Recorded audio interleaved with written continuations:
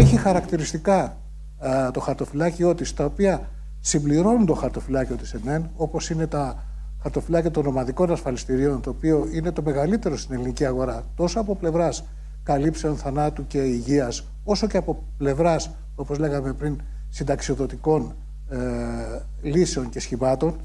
Και εδώ πέρα θα πρέπει να συμπληρώσω ότι ε, παίρνοντας ε, λίγο ε, την πάσα από τους προηγούμενους ομίλησαντες ότι παρά το γεγονός ότι υπέστησαν οι συντάξεις καταράκωση την τελευταία δεκαετία, μειώσει επιμειώσεων, μειώσει επιμειώσεων.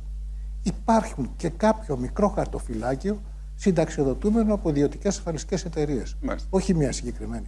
Αυτό το χαρτοφυλάκιο, αυτοί οι άνθρωποι που είχαν, να το πω έτσι, προβλέψει πολύ νωρίς και είχαν δημιουργήσει μια τέτοια α, δυνατότητα για τον εαυτό τους, μια τέτοια αποταμίευση, δεν υπέστησαν ούτε ένα ευρώ μείωση. Σωστά. Παρά το γεγονός ότι οι ιδιωτικές ασφαλιστικές εταιρείες υπέστησαν την απομείωση των επενδυμένων στοιχείων τους λόγω του ότι έγινε πτώση των τυχοπών μετοχών. Έγινε μεγάλο κούρεμα στα ομόλογα. Ε, ενώ υπέστησαν αυτές τις απομειώσεις στα επενδυτικά τους στοιχεία, όσον αφορά τις υποχρεώσεις τους, δεν απομείωσαν ούτε ζήτησαν να απομειώσουν ούτε ένα ευρώ. Οπότε αυτοί οι λίγοι συνταξιοδοτούμενοι από την ιδιωτική ε, ασφαλιστική αγορά, στο κομμάτι που έπαιρναν από την ιδιωτική ασφαλιστική αγορά, δεν υπέστησαν απομείωση. Επίσης, και οι δύο εταιρείες, για να επανέλθω στο προηγούμενο ε, θέμα, και οι δύο εταιρείες έχουν επιλέξει από χρόνια να υποστηρίξουν την ασφαλιστική τους δουλειά ε, με τα δίκτυα πωλήσεών τους. Οπότε και σε αυτό το χαρακτηριστικό ταιριάζουν απόλυτα. Άρα έχουμε εδώ πέρα να κάνουμε μια επένδυση η οποία βλέπει μπροστά και θετικά την ε, πορεία και την εξέλιξη στην ελληνική οικονομία. Γίνεται και με, με μια εταιρεία η οποία ταιριάζει με τα χαρακτηριστικά της ε, ΕΝΕΝ και επίσης είναι μια έμπρακτη απόδειξη ότι εμπιστεύεται τη διοικητική ομάδα της ΕΝΕΝ η οποία τρέχει αυτή τη στιγμή αυτό το project και όλων η πίστη είναι ότι θα είναι μια επιτυχής ε, κατάληξη αυτού του Και είναι πολύ εντυπωσιακή και η διαδρομή. Από πού ξεκίνησε η ΕΝΕΝ πριν από το 2015, ε, ε, όχι. Η αλήθεια είναι ότι από το 2016 ναι. ε, και για πάρα πολλά χρόνια μέχρι το 2016 η εταιρεία είχε αρνητικά αποτελέσματα. Ακριβώς. Κόκκινο που λέμε στη γλώσσα μας και από το 2017 έχει επανέλθει σε θετικά αποτελέσματα με την παρούσα διοίκηση με αποτέλεσμα να, να δώσει την ε, πεποίθηση στις, ε, στη μαμά εταιρεία ότι μπορούμε να κάνουμε αυτό το οποίο τώρα έχουμε βάλει σαν project και θέλουμε να πετύχουμε. Είναι αναμφισβήτητα ένα success story. Δεν είναι παρούσα κύριε, ε, κύριε Πολιτοπούλου, επομένως μπορούμε να το πούμε ότι πραγματικά πήγανε καλά. Πέρυσι, τέτοια εποχή, αν κάναμε την ίδια συζήτηση, κύριε Τινιέ, δεν θα μιλούσαμε καθόλου για τον πληθωρισμό. Δεν θα μας απασχολούσε το θέμα του πληθωρισμού. Ξαφνικά όμως ορθώθηκε μπροστά μας ένα φάντασμα, το φάντασμα του πληθωρισμού και πώς αυτό επηρεάζει τις συντάξεις μας και, και την ασφαλιστική αγορά. Ο, ο πληθωρισμός, πολύ σωστά, ήταν, κάτι με το οποίο εμείς είχαμε μεγαλώσει. Ήταν το άγχος ε, οπωσδήποτε της μακροοικονομίας και των καθενός συνταξιούχου. Δηλαδή, όταν ο πληθωρισμό. Συγγνώμη, θέλω να σας διακόψω. Εάν κάποιος από τους κυρίους θέλει να συμπληρώσει κάτι σε αυτά που άκουσε ή οτιδήποτε άλλο, σηκώνει το χέρι. Θα σας δώσω και γάνια του box, άμα θέλετε να, να παλέψετε. Ευχαρίστως. Δεν θέλω να κάνω μονολόγους, θέλω απλώς να κάνω μια συζήτηση. Παρακαλώ, με συγχωρείτε για τη διακοπή. Ε, ο πληθωρισμός ήταν το, το μεγάλο άγχος των συνταξιούχων και φαίνεται αυτό, δεν ξέρουμε, αλλά φαίνεται να υπάρχει ένας κίνδυνος να επιστρέψει. Γιατί, διότι ε, είναι περίπου οι ίδιες συνθήκες που ήταν στη δεκαετία του 70, δηλαδή αρχικά ένας, ε, ε, μια έξαρση τιμών η οποία θεωρείται ότι ήταν προσωρινή, η οποία όμως μόνο προσωρινή δεν είναι, γιατί συνέχεια αυτό δημιουργεί ένα φαύλο κύκλο. Είμαστε σε αυτή τη φάση που δημιουργείται ο φαύλος κύκλος. Εκεί η, το θέμα της συμπληρωματικότητας των δύο, ε, του, της ιδιωτικής και της ε, κρατικής παρέμβασης έχει τρομερά μεγάλη σημασία. Γιατί, γιατί οι, οι, ιδιωτικές, οι δημόσιες συντάξεις μέσω του διανεμητικού συστήματος, pay as you go, ε, είναι ε, φυσικά προστατευμένες από τον πληθωρισμό. Γιατί τα έσοδά τους αυξάνουν όπως και οι, οι δαπάνες τους. Αυτό δεν ισχύει για οποιοδήποτε κεφαλοποιητικό σύστημα δηλαδή που, που βασίζεται σε, στη συγκέντρωση κεφαλαίων. ε, και επομένως έχει πολύ μεγάλη σημασία να υπάρχουν και τα δύο μαζί. Ε, από την άλλη όμως, η, και ενώ, ε, έχοντας μπροστά και την επιπλέον αβεβαιότητα της συνέχισης του πολέμου ε, και του άδειλου μέλλοντος της πιθανώς ενός νέου ψυχρού πολέμου που θα, ε, θα προκύψει μετά, έχει πολύ μεγάλη σημασία ε, η ευελιξία του ιδιωτικού τομέα. Δηλαδή, εκεί στο, το, το πράγμα το οποίο πρέπει να απασχολεί όλους τους υπουργούς οικονομικών είναι με ποιο τρόπο αυτή η αναπόφευκτη έκρηξη τιμών, στο, επίπεδο τιμών, πώς δεν θα μεταφραστεί αυτό σε, ε, σε μια μόνιμη διαδικασία, όπου οι, οι μισθοί θα κυνηγάνε τις τιμές, οι τιμές θα κινηθούν στους μισθούς και από το οποίο θα βρούμε όλοι χαμένοι. Είναι εκεί όπου η εξατομίκευση της προσέγγισης που έχει η ε, ασφαλιστική αγορά μπορεί να, να, αποδώσει, να, να, να δώσει ένα αποκούμπι και να σταματήσει, να, να βάλει ένα φρένο σε αυτή την διολίστηση. Επίσης, ένα θέμα που είπε ο κύριος Κουγιουντή που έχει πάρα πολύ μεγάλη σημασία, ότι όλα τα μεγάλα προβλήματα τα οποία συζητάμε τώρα είναι προβλήματα ευρωπαϊκά. Ε, παρά τα αυτά, ο πληθωρισμός που λέμε, οι, οι συντάξεις, το θέμα της μακροχρόνιας φροντίδας, ε, είναι όλα τα, τα θέματα τα οποία είναι, θα πιάσουν όλη την Ευρωπαϊκή Ένωση η ακραία περίπτωση είναι τα θέματα των μεταναστεύσεων, το brain drain. Το brain drain σημαίνει ότι φεύγουν νέοι άνθρωποι από την ε, Ελλάδα και τη Βουλγαρία και πηγαίνουν και εγκαθίστανται στην ε, Ολλανδία, Γερμανία κτλ. Αυτό τι σημαίνει ότι έχεις ένα πρόβλημα που εκδηλώνεται ε, σε μια χώρα και η λύση του, η ανάπτυξη εκδηλώνεται κάπου αλλού. Αυτό σημαίνει ότι πρέπει να έχεις μια συνολική προσέγγιση της ασφάλισης και εκεί το, το μεγάλο πρόβλημα είναι ότι ενώ έχουμε μια ενωμένη αγορά 27 ετών, 27 ε, κρατών, έχουμε 27 διαφορετικές τελείως διακριτές ασφαλιστικές αγορές. Εκεί οι κινήσεις αυτής της διεθνοποίησης, όπως η κίνηση της ΕΝΕΝ, είναι η καλύτερη ευκαιρία για να, να ενιοποιηθεί αυτός ο τομέας, ο οποίος έχει, όπως είπα, πάρα πολλά πράγματα, πάρα πολλά να προσφέρει, αλλά το θεσμικό πλαίσιο και ο κατακαιρματισμός που υπάρχει το αποτρέπει. Και Τώρα, αν μου επιτρέπετε το σχόλιο και θέλω να, με, να, να μου σχολιάσετε το σχόλιο, ε, αυτό που μιλάμε για αφελινισμό της αγοράς και τα λοιπά, είναι λίγο, λίγο αφηρημένο, γιατί χωρίς τα λεφτά δεν μπορούμε να κάνουμε τη βιομηχανία. Και εμείς είμαστε μια μικρή χώρα 10 εκατομμυρίων που δεν μπορεί να συντηρήσει ένα τόσο μεγάλο σύστημα. Τα λέω σωστά ή, ή κάτι, κάτι ξεχνάω; Ε, σωστά τα λέτε, ε, διότι η, ε, ο αφελινισμός της αγοράς ισχύει για όλα τα πράγματα. Γι' αυτό μπήκαμε στην Ευρωπαϊκή Ένωση, για να αφελινιστούμε, για να γίνουμε να εξευράσουμε. Διότι μια μικρή χώρα δεν μπορεί να αντιμετωπίσει όλα αυτά τα πράγματα. Επομένως, δεν είναι κάτι που μας τρομάζει. Ε, Βεβαίως, ε, το θέμα της της ε, ε, εγχώριας παρουσίας έχει μια σημασία. Βεβαίως. Ε, διότι ε, το, το πρόβλημα που λέτε εσείς δημιουργείται από το ότι ε, οι αγορές λειτουργούν ξεχωριστά και επομένως πρέπει να έχεις μια ξεχωριστή αντιμετώπιση της ελληνικής αγοράς. Αυτό σε υποχρεώνει ο κατακαιρματισμός. Επομένως πρέπει να πάνε τα δύο μαζί, η καταπολέμηση του κατακαιρματισμού και με αυτόν τον τρόπο το θέμα του αν είναι κάποιος, αν ε, έχει σαφρενισμό ή όχι, δεν θα, θα σταματήσει να έχει σημασία. Ωραία. Για να μιλήσουμε τώρα, για... παρακαλώ.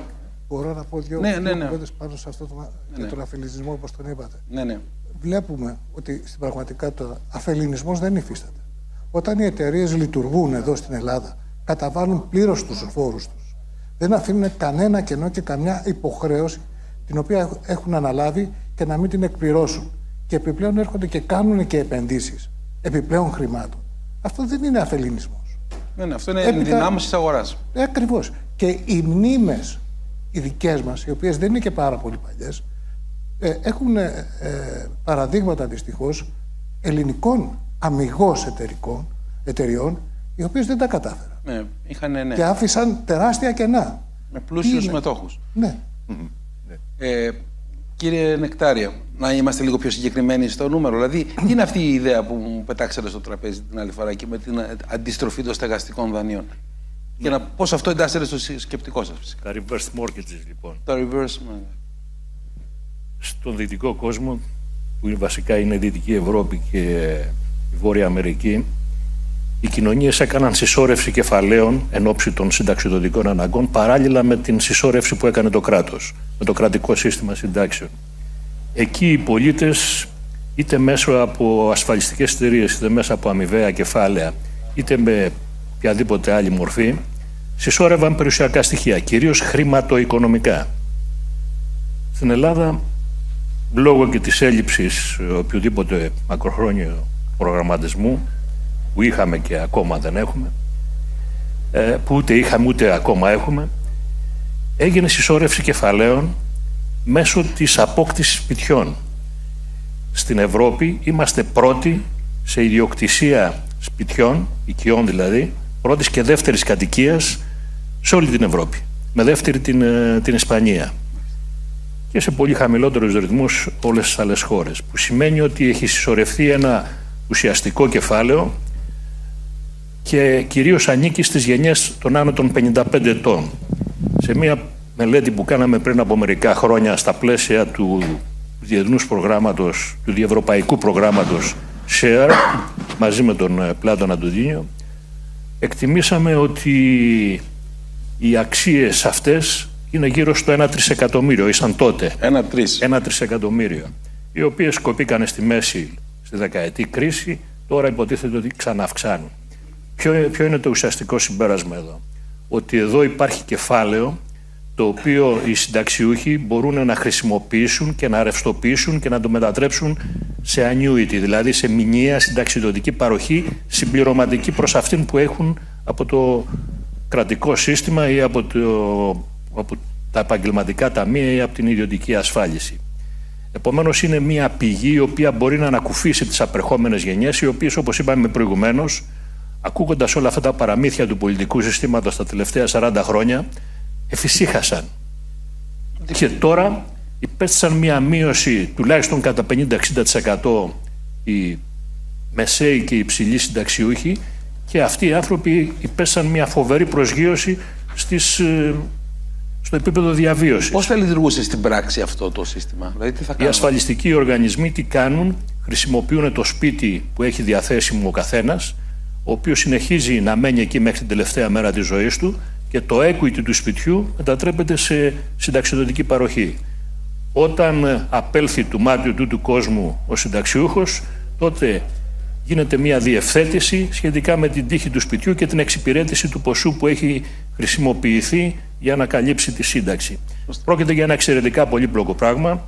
Η εγχώρια ασφαλιστική αγορά έχει πλήρη μεσάνυχτα σχετικά με αυτά τα προϊόντα και παρόλα αυτά βέβαια είναι μια λύση που αν είμαστε μια σοβαρή κοινωνία θα την είχαμε χρησιμοποιήσει για να βοηθήσουμε αυτά τα 3 εκατομμύρια των συνταξιούχων τα οποία την τελευταία δεκαετία υπέστησαν αυτή τη φοβερή προσγείωση που έλεγα προηγουμένως στις παροχές του. Ή τουλάχιστον μπορούσαμε να το συζητήσουμε το θέμα ή να το σχεδιάσουμε, το, να το προγραμματίσουμε. Είναι το πρόβλημα αυτήν που είναι φτωχοί στις συντάξεις και πλούσιοι στα κίνητα. Κοιτάτε, έχουμε το άτομα ίδιο που πρόβλημα- μένουν Σε πολύ μεγάλα σπίτια που είναι πολύ μεγαλύτερα από τις, από τις ε, ανάγκες τους, αλλά ταυτόχρονα δεν έχουν να ζήσουν γιατί τους έχουν κόψει, τους έχουν κόψει τη σύνταξη. Για πολλά χρόνια ήταν στόχος ζωής το να βγει στο δημόσιο και να γίνει συνταξιούχος. Και καμιά φορά όχι με αυτή τη σειρά. Ναι, είναι μια δύσκολη ιστορία, μην την πούμε τώρα και στενοχωρηθούμε περισσότερο. Ναι. Αλλά Και- αυτό που πρέπει να καταλάβουμε εδώ είναι ότι η έλλειψη τεχνογνωσίας δεν χαρακτηρίζει μόνο το δημόσιο τομέα. Και ο ιδιωτικός τομέας είναι στην ίδια κατάσταση.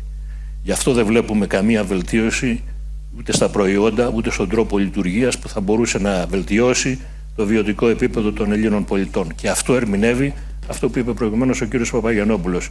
Η ασφαλιστική αγορά τα τελευταία 30 χρόνια είναι σε πλήρη στασιμότητα.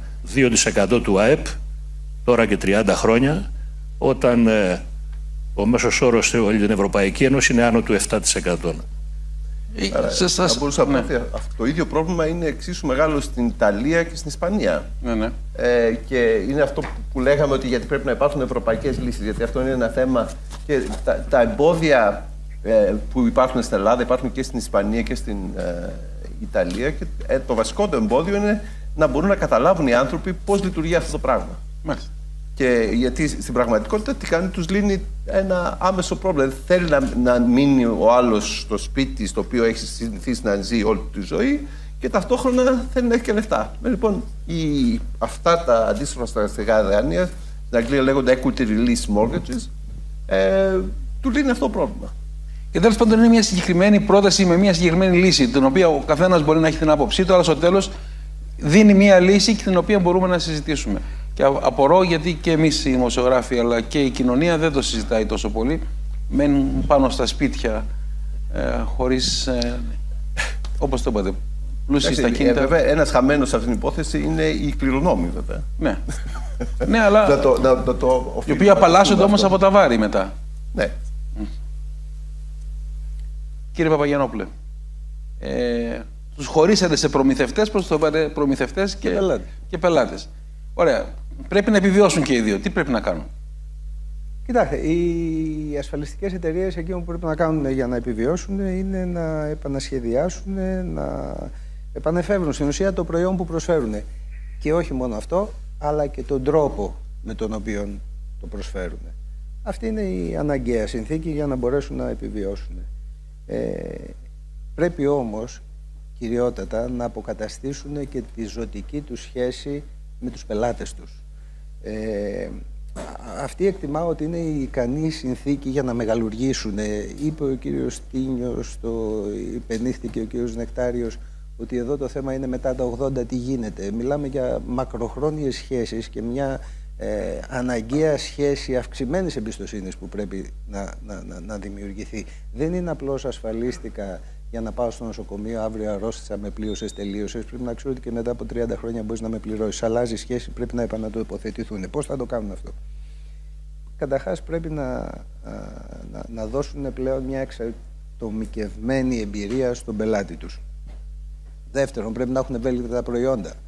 Ε, πρέπει να επενδύσουν στη διαφάνεια στην ποιότητα και στην ανταποδοτικότητα. Όλα αυτά να είναι ανοιχτά για να μπορέσουν να, να, να, να τραβήξουν την εμπιστοσύνη την οποία ε, χρειάζεται. Σε ό,τι έχει να κάνει με τους πελάτες, ε, εκείνο που πρέπει να κάνουν καταρχάς είναι να συνειδητοποιήσουν ότι το κράτος τέλειωσε. Ό,τι είχε να τους δώσει, τους το έδωσε. Θα, θα, θα, θα σηκωθούν κάτι, θα πούνε είσαι υπερβολικός. Είμαι υπερβολικός, το ξέρω. Απλά ψάχνω να βρω για της υπερβολής στο μέτρο. Έτσι. Αλλά η ουσία είναι ότι αυτό είναι το, το, το, το κεντρικό συμπέρασμα για το τι πρέπει να κάνουν οι Τέλος πελάτες. πάντων, είναι πεπερασμένα τα όρια του. Εδώ, Ακριβώς, ας το πούμε ακριβώς, έτσι. Για να... ακριβώς, ακριβώς. Ε, επίσης, το δεύτερο που πρέπει να κάνουν είναι να καταλάβουν ότι ο κάθε ένας από εμάς, η κάθε οικογένεια, ε, είναι μια μικρή επιχείρηση. Ε, εντάξει, εγώ μιλάω για ε, ε, το, το corporate ε, risk management, το enterprise risk management, ο κ. Στίνιος είπε για το risk management των ε, ασφαλιστικών εταιριών ΠΕΣΕ. Ε, και οι ιδιώτες πρέπει να, εξα... να δημιουργήσουν ένα εξατομικευμένο πρόγραμμα διαχείρισης των δικών τους κινδύνων. Αυτό Είναι δεν εννοούσατε. απαραίτητο. Κοινωνικό risk management από την αρχή. Αυτό έτσι ξεκινήσαμε τη συζήτησή μας. Ναι, άρα λοιπόν, ε, τι λέμε, οι πελάτες εκείνο που πρέπει να καταλάβουν είναι ότι πρέπει να βάλουν κάτω τα έσοδα, τα έξοδα και να βρουν τρόπους να διαχειριστούν τα απρόβλεπτα. Το θάνατο, την ανικανότητα, την ανεργία, τη μακροχρόνια ανεργία, γιατί είναι ένα από τα, απ' από τα σημαντικά α, σημεία ε, των καιρών μας ε, και επίσης το ενδεχόμενο ε, της ε, ε, μακράς συντάξεως. Να ζήσουμε πάνω από τα 80, να- ναι, αλλά αυτό είναι ένα ρίσκο on its own. Έτσι. Πρέπει να έχουμε εισόδημα και εδώ. Α, ακριβώς. Άρα λοιπόν α- αυτό είναι εκείνο το οποίο πιστεύω πρέπει να κάνουν οι πελάτες για να ανταπεξέλθουν. Παρακαλώ, κύριε Νεκτάρη. Συνέχεια αυτό που είπε ο κύριος ο Παγιανόπουλος, εδώ θέλω να επισημάνω το εξής ότι η βάση των πάντων είναι το risk management, τόσο για τις επιχειρήσεις όσο και για τα άτομα και τα νοικοκυριά. Επομένως, τι πρέπει να κάνουμε εδώ, να αναπτύξουμε ένα καινούριο software, το οποίο να λαμβάνει υπόψη όλο, όλη αυτή τη σχέση της ανάλυσης των αναγκών των ατόμων και των νοικοκυριών, να μπει όλο αυτό το και- πράγμα σε ένα καινούριο πλαίσιο, να εκπαιδεύσουμε τους ασφαλιστές σε αυτή την καινούρια εξαιρετικά πολύπλοκη τεχνογνωσία και επομένως έτσι θα μπορέσουν και οι ίδιοι να σταθούν επαγγελματικά αλλά κυρίως να εξυπηρετήσουν τους πολίτες. Ε, Βέβαια. Διότι τώρα τι γίνεται; Η τεχνογνωσία με την οποία κινούνται οι διαμεσολαβούντες στην ελληνική ασφαλιστική αγορά είναι αυτή του 90. Δεν έχει γίνει καμία βελτίωση. Για όσους παρακολουθούν από κοντά αυτά τα πράγματα, είναι ακριβώς αυτά που λέγανε το 90, λένε και σήμερα. και έχουν απαξιωθεί εντωμεταξύ όλες αυτές οι τεχνικές διότι έχουν περάσει πάρα πολλά χρόνια και έχουν αναδειχθεί καινούργιες γενιές. Τι έπρεπε να γίνει λοιπόν; Έπρεπε να γίνει μια επένδυση στο Πανεπιστήμιο Πυραιός το οποίο έχει επεξεργαστεί τέτοιου είδους πακέτα και για την διαχείριση κινδύνων των επιχειρήσεων και για τη διαχείριση κινδύνων των ε, νοικοκυριών να φτιαχτούν αυτά τα πακέτα τα οποία έχουν ελάχιστο κόστος και να δοθούν στους επαγγελματίες και να τους καταξιώσουν στη σχέση τους με τους ε, πελάτες. Διότι τώρα όταν έχεις μια τεχνογνωσία του 1990 και προσπαθεί ο διαμεσολαβών ασφαλιστής να πείσει τον πολίτη ή τον νοικοκυριό για τις ανάγκες του σήμερα, για τις ανάγκες του σήμερα γίνεται τραγέλαφος και οφείλεται και εξηγεί όλα αυτά που έλεγα προηγουμένως περιουσιαστική στασιμότητα στα τελευταία 30 χρόνια. Άρα κύριε Κουγιουμτζή, εσείς φταίτε. Το βρήκαμε το πρόβλημα. το λύσαμε το πρόβλημα. Ειλικρινά όμως, πέστε μας πραγματικά πώς βλέπετε εσείς την αγορά και θέλω από τους κυρίους να προετοιμάσουν το τελικό τους ε, statement, ε, γιατί έχουμε πέντε λεπτά καιρό, επομένως από ένα λεπτό καθένας. Κύριε Κογιουμιτζή, εσείς πώς βλέπετε την ασφαλιστική αγορά από εδώ και πέρα με τις προκλήσεις που μόλις περιγράψαμε; Κοιτάξτε, ε, ακούστηκαν πολλά πράγματα από τους ε, προηγούμενους ε, συνομιλητές μας. Κάποια πράγματα ε, εγώ τα θεωρώ προς τη σωστή κατεύθυνση. Όπως θα έλεγα ότι είναι, θα, ένα από αυτά είναι το ότι μπροστά μας έρχεται ένα μεγάλο πρόβλημα, είναι η μακροχρόνια φροντίδα, το οποίο είναι το αντίστροφο από αυτό το οποίο βιώνουμε σήμερα. Με ποια έννοια θα πω. Ο κόσμος είχε συνηθίσει μέχρι σήμερα ότι ο μεγάλος σε ηλικία θα έχει σύνταξη και μάλιστα μέρος αυτής της σύνταξης θα έρχεται σαν συμπλήρωμα των νεότερων. Δεν έχει ακόμα γίνει αντιληπτό στην κοινωνία ευρύτερα τι έχει γίνει με τη συντάξη ακριβώς. Πόσο δύσκολα θα είναι τα πράγματα όταν κάποιος θα φτάσει σε μεγάλη ηλικία και θα έρθει η ώρα της συνταξιοδότησης και θα δει ότι αυτά τα χρήματα δεν θα φτάνουν και θα χρειάζεται το αντίστροφο. Τι, οι νεότεροι να βοηθήσουν τους μεγαλύτερους ενώ η κοινωνία είχε συνοθήσει διαφορετικά μέχρι σήμερα. Αυτό γίνεται δυστυχώς σιγά σιγά αντιληπτό, θα περάσει πολλή χρόνος. Είναι σαν το βάσανο του βατράχου που είναι στην κατσαρόλα και βράζει σιγά σιγά το νερό μέχρι που ψοφάει ο, ο βάτραχος, αλλά θα γίνει αντιληπτό. Δεν, είναι ένα θέμα το οποίο το έχουμε μπροστά μας. Για τις κατοικίες και το πώς αυτές μπορούν να ρευστοποιηθούν με τη μορφή συντάξεων υπόθηκαν ε, σχεδόν ψιθυριστά, αλλά υπάρχουν ε, αντεπιχειρήματα. Πόσο έτοιμη είναι αυτή η κοινωνία, η δικιά μας η ελληνική κοινωνία, γιατί μιλάμε για την Ελλάδα, να φερθεί όπως ας πούμε η Αμερικάνικη, στην οποία υπάρχουν συγκεκριμένα σχήματα. Πόσο έτοιμοι είναι οι κληρονόμοι να απεμπολίσουν την, το κληρονομούμενο. Και επίσης τα χαρακτηριστικά της ελληνικής κοινωνίας ε, ε, είναι ακόμα ε, έντονη η οικογένεια στα χαρακτηριστικά τη συμπεριλαμβάνεται η οικογένεια, το να νιώθουμε οικογένεια και πολλές φορές αυτοί οι οποίοι κληρονομούν έχουν επομιστεί όμως και το ρόλο της φροντίδας από αυτούς που θα κληρονομήσουν. Όταν δεν θα υπάρχει το αντικείμενο της κληρονομιάς. Το κίνητρο. Ναι, το λέω ναι, με, το, με την κακή έννοια του. Να το πω έτσι, οι κληρονόμοι, να τους βάλω σε εισαγωγικά ναι, ναι όπως ναι. θέλετε, να τρέξουν. Όχι, δεν θα είναι οικονομικό το θέμα θα είναι θέμα ανθρώπινου ενδιαφέροντος. Να τρέξουν, να τον πάνε τον άνθρωπο στο νοσοκομείο, να του ενδιαφερθούν για το αν παίρνει τα φάρμακά του, αν δεν έχει καλή διονυτική κατάσταση, πώς θα συντηρήσει τον εαυτό του. Αυτά είναι αλλαγές μεγάλες. Δεν είναι αλλαγές μακρινές όσον αφορά την κατανόηση του θέματος, αλλά το κάθε πράγμα πρέπει στην οριμότητά του να έρθει να γίνει και λίγο πριν αλλά δεν μπορεί να γίνει σε έναν τελείως άκερο χρόνο. Καταλαβαίνω. Δεν, δεν χρειάζεται χρόνος. Τώρα, σίγουρα χρειάζεται επικοινωνία με τους ανθρώπους. Φάνηκε ε, κατά τη διάρκεια της κρίσης. Μπόρεσαν οι ασφαλιστικές εταιρείες στο σύνολό τους να λειτουργήσουν και να παράγουν και να επικοινωνήσουν. Φαίνεται ότι το μέλλον είναι περισσότερη επικοινωνία με τους ασφαλισμένους και διαδραστικότητα. Θα θέλαμε πάρα πολύ οι άνθρωποι να διαθέσουν μεγαλύτερο εισόδημα για τις ασφαλιστικές ανάγκες που ενδεχομένως δεν γνωρίζουν και ε, να φτάσουμε το 7 και το 8% αλλά θα πρέπει να πούμε παράλληλα ότι σε αυτές τις κοινωνίες που τα έχουν αυτά τα ποσοστά έτσι, το μεγαλύτερο μέρος αφορά συνταξιοδοτικές εισφορές σε, σε ιδιωτικά σχήματα. Έτσι, δεν είναι ασφάλιστα κινδύνου που λέμε πραγματικού προστασίας. Είναι στα 8, είναι στο 9, είναι στο 10, αλλά κυρίως στο συνταξιοδοτικό κομμάτι απορροφά το μέγιστο μέρος αυτών. Τα δίκτυα είναι προέκταση των ασφαλιστικών εταιριών. Εκφράζουν τις ασφαλιστικές εταιρείες, εκπαιδεύονται συνεχώς, έτσι, προκειμένου να είμαστε πάντα επίκαιροι και πάντα μέσα στο, στο λοιπόν, της αγοράς. Θέλω να γίνετε δημοσιογράφοι τώρα και θέλω σε λιγότερο από 30 δευτερόλεπτα ο καθένας να συνοψίσετε το μήνυμά σας για να βοηθήσουμε και τον κύριο που κάνει και την, ε, τη δημοσιογραφική δουλειά για το συνέδριό μας για τα μήνυματα που θέλουμε να εκπέμψουμε. Νομίζω ότι το, η είδηση είναι ότι μας λείπει ο, αυτό που χρειαζόμαστε είναι ένα ασφαλιστικό αλφαβητισμό. Ε, είμαστε ασφαλιστικά αναλφάβητοι, διότι το κράτος τόσα χρόνια ήθελε να μας κρατήσει έτσι, διότι θα καταλαβαίναμε ότι αυτές οι υποσχέσεις που, που μοίραζε δεν άξιζαν τίποτα. Ακριβώς. Κύριε Νεκτάρια. Το βασικό μήνυμα είναι ότι τα μεγάλα προβλήματα της χώρας είναι μπροστά και το πολιτικό σύστημα πρέπει να σοβαρευτεί και να κάνει αυτό που δεν έκανε το περασμένο μισό αιώνα. Δηλαδή να κάνει ένα μακροχρόνιο προγραμματισμό σε όλους τους τομείς καθώς και το, στο συγκεκριμένο τομέα μέχρι τα μέσα του 21ου αιώνα. Εάν δεν γίνουν αυτά, οι εξελίξεις στη χώρα θα είναι δραματικές στι επόμενες δεκαετίες. Με το ασφαλιστικό. Κύριε Βαγιανόπουλε. Ε, λίγο πιο αισιόδοξα το μήνυμα το δικό μου είναι ο Βάτραχος δεν θα ψοφήσει.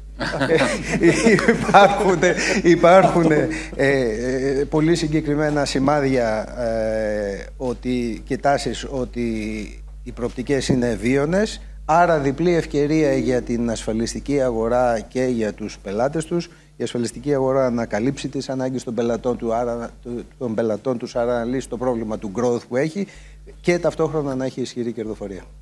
Κυρίες και κύριοι, ελπίζουμε να ήμασταν χρήσιμοι και ευχάριστοι. Ευχαριστώ πολύ.